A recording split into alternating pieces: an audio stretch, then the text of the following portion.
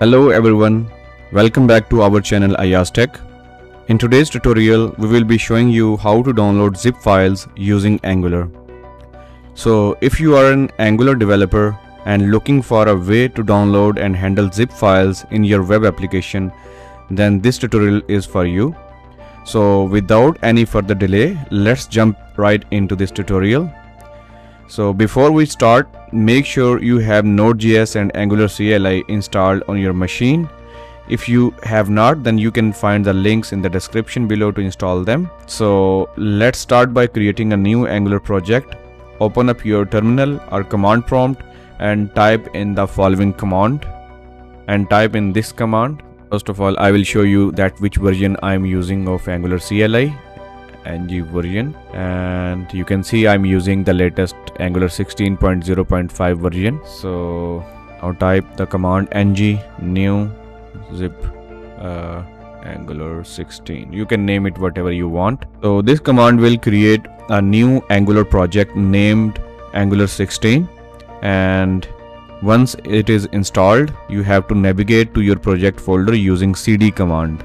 So I will show you once it is done Alright, Angular has been installed. Now I will go into that directory cd angular 16 and open it in your editor. I will be using the VS Code so I will open it in there. So to handle the download of the zip file, we are going to use a library called File Saver. It's a simple solution that provides save as function which is very convenient for saving files from the client side so let me open up that library on the npm as well. So here you can see the other documentation as well if you want to read it. Otherwise you don't need to read all of that. You can just start using by using my video. And you can see the weekly downloads. So it is very popular you can see from here.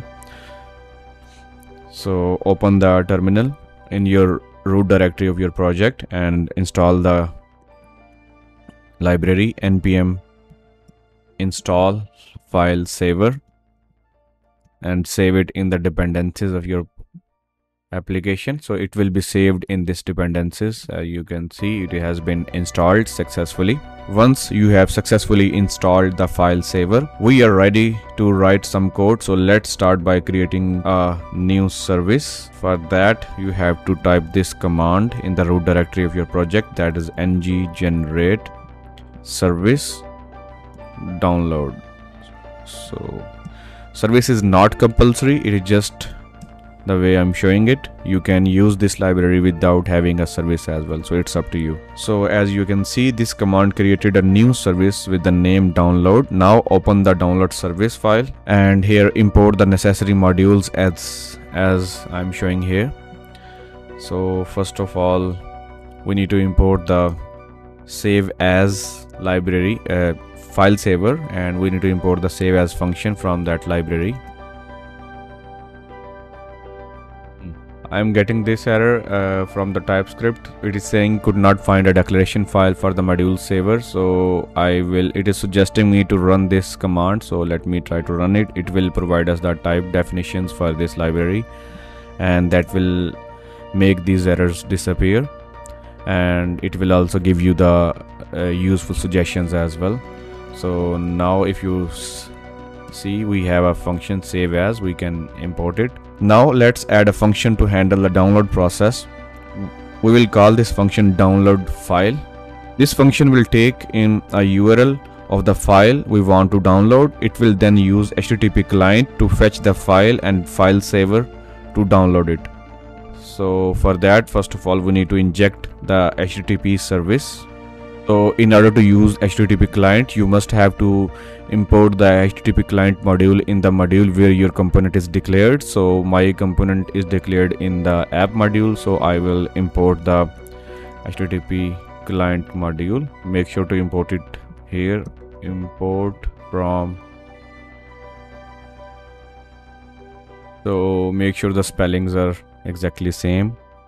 So after it is imported you can inject the service here as well http client. So i just impo uh, imported the http client service here as well. Now we, we will define a parameter in the download file that is url of type string and we will call a function this.http.get and give it the url that we will be getting from the parameter. And also i will pass the second parameter that will be the response type. We want the type as blob okay? And after that we will subscribe to the observable that will be returned from the get function. And now i will call a function save as and i will give it the response. And I will give it the file name that I want to use file name.zip okay? Now with this function we send a get request to the URL and expect a blob in return when we receive the blob we use the save as function from the file saver to save the blob as the file on the client's machine. Now we have our download service ready so let's use it in our component. For demonstration purpose i will use it in the app component. So open up your app component.ts file and here you have to import the download service and you have to inject it as well in your constructor. So i'm going to get rid of this variable. I will also get rid of this default html that i got from the installation. Alright and now I'm going to define a constructor here and here I will give the name to my service as private download service and type the name of the service that you want to inject. So I have imported the download service and I have injected it as well. Now let's call the download file function. When the user clicks on a button, we will need a function in our component that calls the download file function in the service. So this is how it will look like. We will just define function on download and here I will give it a URL. I will shortly pass the real URL but first let me complete the code this dot download service dot download file and pass the URL to this function as the parameter. And now go to the app.component.html and let's add a button that calls this function when clicked. So for that I will add button click me and add click event. And here I will call the function on download. Alright, I got the URL of the zip file, so I will paste it here. And now we, it's time to test it open the application in the browser by running the command ngserve-o that will automatically open the application in the browser for you. So just wait for some time. Alright so if you click on this button you will get you may get an error that is about CORS policy. So it is saying that it has been blocked. So it is not a problem because when you're running on your local host it uh, you may get this error. But if you upload it online you may not get the error. Or if you on the server where you have uploaded the file you can add, add the CORS policy so that it could allow your website uh, or domain. So for now in the local host uh, i want to bypass this error. I used this chrome extension.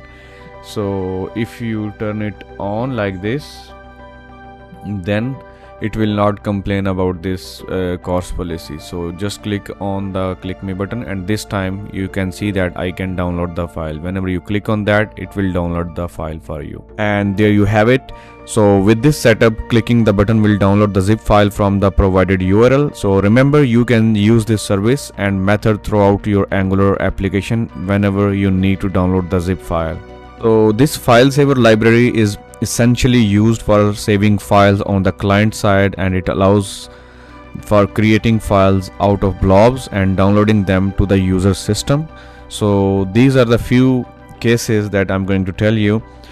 Uh, one of the use cases is that you can export to csv or excel. So one common use case is the data driven application where you might need to export tabular data to csv or excel so for example, in the sales dashboard application, you may want to provide an option for users to download the sales data to their records.